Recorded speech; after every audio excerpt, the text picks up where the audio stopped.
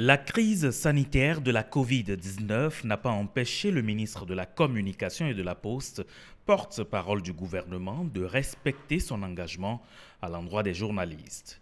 Face aux hommes des médias, Alain Sourou Oronla se prête avec maestria à l'exercice. Au menu des échanges, les dernières élections municipales et communales. Selon l'autorité, ces élections ont connu du succès les Béninois ont montré et démontré une fois de plus leur attachement à leur pays et à la démocratie instaurée et de plus en plus confortée dans notre pays en accomplissant ce devoir civique, ce droit, en exerçant euh, ce droit euh, constitutionnel dans des conditions que euh, nous connaissons. Il a été enregistré un taux de participation de 49,14 qui a un taux fort appréciable. Si ce n'est un exploit, c'est au moins la marque de ce que ce taux donne satisfaction compte tenu du contexte sanitaire euh, que nous avons évoqué à l'instant. Et c'est un taux qui dément et qui combat les pronostics de mauvais augure et des appels au boycott que nous avons pu entendre ci et là. Des leçons tirées de ces dernières élections prouvent à suffisance, selon le porte-parole du gouvernement, que les Béninois doivent être fiers non seulement de la vitalité de leur démocratie, mais aussi et surtout de la gestion efficace et participative faite du Bénin par le président Patrice Talon. Les résultats de ces élections ont montré et démontré également que le peuple béninois est attaché à la réussite et au succès enregistrés par le programme d'action du gouvernement, puisque la majorité des suffrages s'est portée sur les deux blocs qui soutiennent l'action du gouvernement. Je veux parler du bloc républicain et de l'Union progressiste qui ont engrangé le maximum des suffrages des électeurs.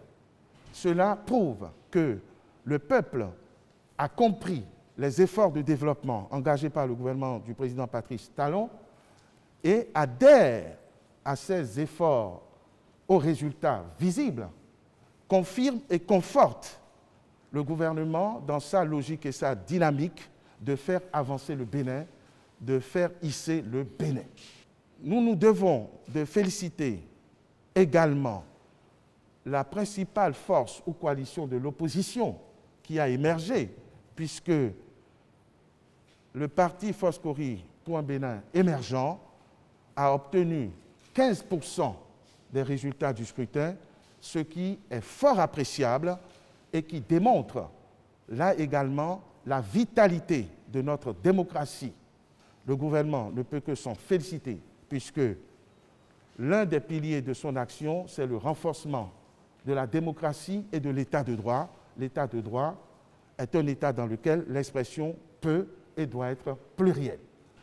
Et c'est pour faire respecter les lois de la République et préserver les acquis de cette réforme que le président Patrice Talon a rencontré les responsables des partis politiques. Alain Oronla voit en cette action un geste de haute portée. L'intégralité, la totalité de ces forces politiques ont marqué leur accord et j'ai le bonheur de vous annoncer, de vous confirmer que cette loi a fait l'objet de la promulgation d'usage, c'est-à-dire que le président de la République l'a promulguée et l'a érigée au titre de loi applicable exécutoire sur l'ensemble du territoire national. C'est l'occasion également de constater une fois de plus que le président Patrice Talon n'a pas varié dans sa logique et dans sa dynamique d'écoute des uns et des autres. Au-dessus de la mêlée, n'agit jamais sans la concertation, sans le dialogue dont il avait pris l'initiative l'année dernière, notamment le dialogue politique qui a abouti à la relecture des différentes lois de notre système politique et a, au préalable, obtenu l'adhésion, pour ne pas dire le consentement, de forces politiques avant d'agir. Le porte-parole du gouvernement a pour finir remercié la Commission électorale nationale autonome Sénat et les médias pour leur rôle dans la réussite de ces élections. Alain Oronla a par ailleurs invité les populations à soutenir encore plus les actions du président Patrice Talon.